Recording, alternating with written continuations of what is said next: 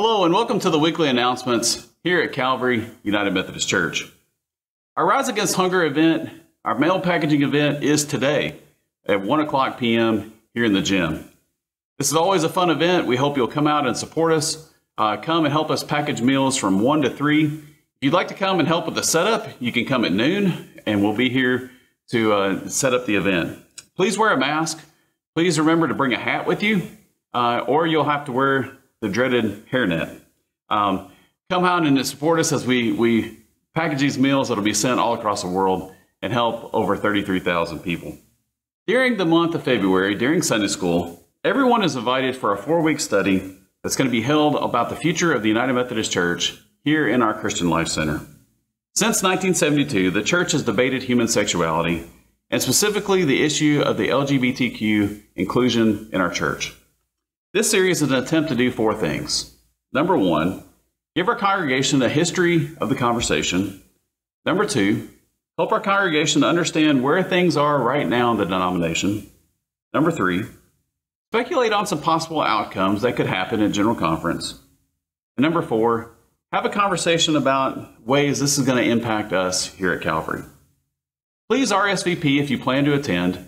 You can do that by signing up at Master's Common, or you can go to our website at calvaryumc.com.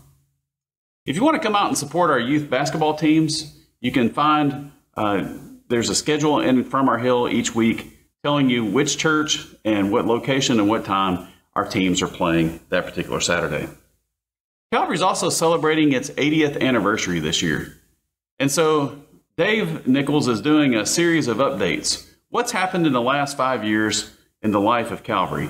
And so you'll want to be paying attention the next few weeks uh, in From Our Hill as we have some interesting articles about history and about important events that have happened in the life of the church. You can now also sign up for our church retreat that's coming up at Beersheba, May 13th through 15th. I know that sounds like it's pretty far away, but it'll be here before we know it. So begin to make your plans, mark your calendars, sign up online, sign up with Pastor Eric if you'd like to go to Beersheba with us this spring. If you're interested in going to Estonia this summer, please contact Jenna Mansberger by January 31st. The mission team is making plans about our summer camp, and so we want to include you if you'd like to go with us. CCF also needs your help tomorrow. We need 200 individually packaged desserts for our fifth Sunday lunch and our service day. And so if you will please bring them by the Sunday school hour, then Philip Kaufman and all of our team will pick them up and take them over to serve them as they go on Sunday morning. Super Bowl of Caring is also coming up on February 13th in conjunction with the Super Bowl. During both worship service events that morning, uh, we will have youth at all the sanctuary doors with soup pots.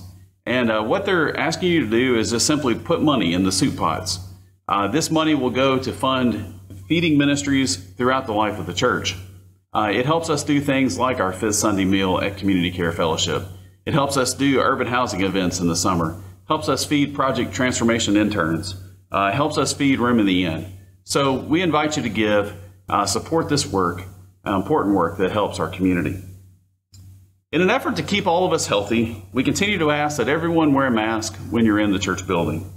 That includes small group gatherings, worship, until we can get a few more weeks through this Omicron surge.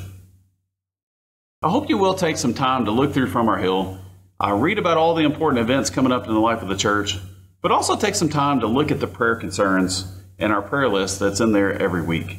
Uh, pray for our members, our friends, our relatives, our ministry partners, and our missionaries that are serving throughout the world. I hope you will join us on Sunday for worship. We'll be here 8.15, 10.30, like normal. Uh, if you can't join us in the sanctuary, we hope that you'll watch us online. Uh, we continue to stream both services, and you can watch us uh, anytime you'd like by simply going to the Worship Anytime button uh, on our website. You can also listen to the sermon and listen to the service by calling sermon by phone at 615-239-5392. Hope to see you this weekend. Pastor Eric will be preaching, and I hope to see you there. See you later. Bye.